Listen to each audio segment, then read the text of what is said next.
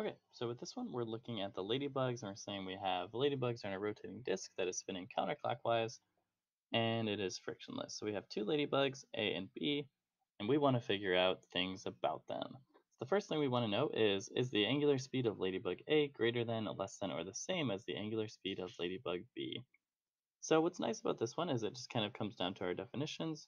We know that the angular speed is defined, this omega, our angular speed or angular velocity, is just how many radians we're covering per some amount of time. So this is kind of like when I had that bike wheel and I put that piece of tape on it. These ladybugs are not moving uh, like al along the wheel. They're, they're moving with the wheel, but they're not changing other than just spinning on the wheel. So the amount of radians that one ladybug spins is going to be the same as the other one spins because they're along the same radius. This is kind of a bad drawing. Um, but because they're along the same radius, the amount that one spins is going to be the same as the other one. So they'll cover the same amount of radians in the same amount of time because they're along that same radius. So this is actually going to be the same because they cover the same radians in the same amount of time. That's not a great explanation. I'm kind of verbalizing my explanation, so I may not write them too much. So sorry about that. Okay, then we want to know, is the linear speed of ladybug A greater than, less than, or the same as the linear speed of ladybug B? So linear speed, that's the v, that's what we talked about, that's our velocity, so how much distance we're covering per time.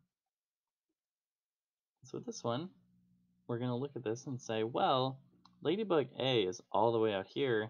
It is making, if we go like one full circle, is making a physically larger circle than the other ladybug it has covered more meters if we went to take it if we kind of unwrapped that circle.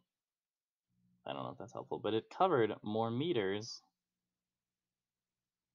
than Ladybug B would in one full rotation. So it is covering more distance but it's taking them the same amount of time. So Ladybug A is going to have a greater speed because it's covering more distance in the same amount of time.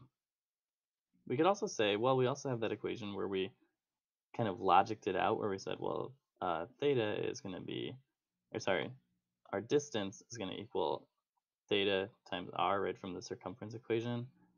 Uh, so we can also say, well, we have this velocity is going to be rotational velocity times r. So if our r is greater, we have the same rotational velocity, then v is also greater. So uh, Ladybug A is at a further radius, so it also has a larger velocity. So I'm going to stop this video here, and then we'll move on to question B.